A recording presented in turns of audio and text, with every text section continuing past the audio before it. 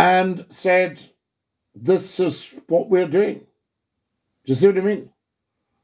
Uh, this is what we want to do. Have they all got together?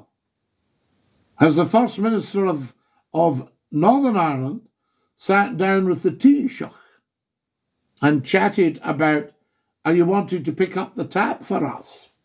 You see, all that's got to be sorted, guys. It's okay waving a flag, but you need to actually get discussing these things. Stuarty has sent me 20 elves. Guys, we're at 5,300 likes. How good is that?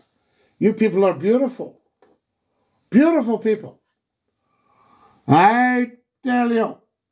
Now, what do we got here? God save the king. McClue for PM. So there we are, says Lord AJ. Lord we lords must stick together. Colin Hogg, thank you for your kindness. What a talk.